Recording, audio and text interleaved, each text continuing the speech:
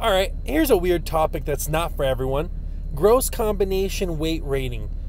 Why? Because in California, you have to have a CDL to pull your trailer with your pickup truck.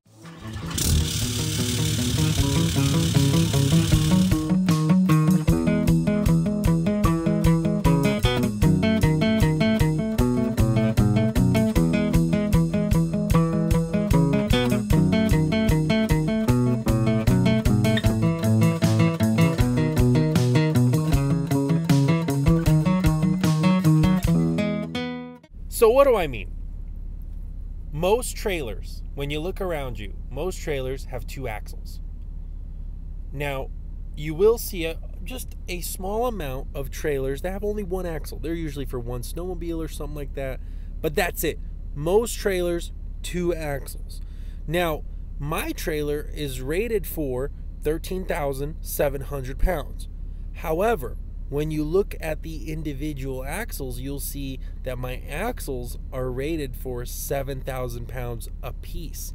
Now, the reason I downrated it to 13,700 pounds is because I didn't want to be over the CDL threshold. 26,001 pound or more, that's your truck, trailer, your load, everything combined, means you'll have to have a CDL. California wanted to take it a step further.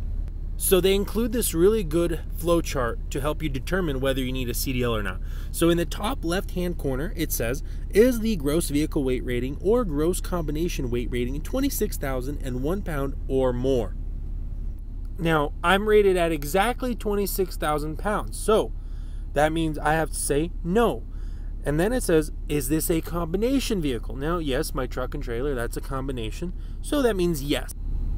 But this one is the important one. Is the gross vehicle weight rating of the trailer or towed unit 10,001 pound or more? Now, yes, we just saw mine is rated for 13,700. So I have to say yes. But the thing is, 10,001 pound is such a low benchmark because that means any truck, any pickup truck, small truck, SUV pulling a small bumper pull trailer that's rated that has two 6,000 pound axles, which is common, will need a CDL. Now think about that. Any bumper pull trailer that has two simple axles, so maybe a U-Haul trailer, will require a CDL.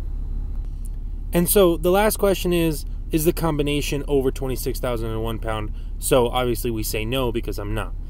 And what that gives us is then I am required to have a Class A CDL with Restriction 88. Now, what the heck is Restriction 88? Great question. So, what it does is gives you permission to pull a trailer that is rated for more than 10,001 pound, but you cannot weigh total more than 26,001 pound. That's it. However, you still have to go through the classes and all this other thing. It's just when it comes time to pass the CDL, like to go take the uh, test on your truck, you can drive the pickup truck with your trailer. You don't have to go rent a semi or something like that. So that's it. All right, guys, thanks so much for watching till the end. Uh, let me know down in the comments below if this was even helpful. And of course, if you have a horror story of something that happened to you in California, or maybe a topic or subject you want me to cover next, let me know down in there as well, and I will catch you guys in the next video. Thanks so much.